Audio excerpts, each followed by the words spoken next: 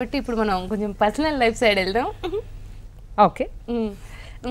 Love marriage just one year before marriage marriage marriage అయింది. Okay so బెంగళూరులో ఉంటాడు అనమాట తను. నేను ఇక్కడ వర్క్ లేనప్పుడు అప్పుడప్పుడు సరదాగా వెకేషన్కి వెళ్ళినట్టు వెళ్ళొస్తూ ఉంటాను అనమాట పెట్టె సర్దుకోవడం వెళ్ళడం షూటింగ్ అనగానే మళ్ళీ పెట్టె సర్దుకోవడం వచ్చేయడం.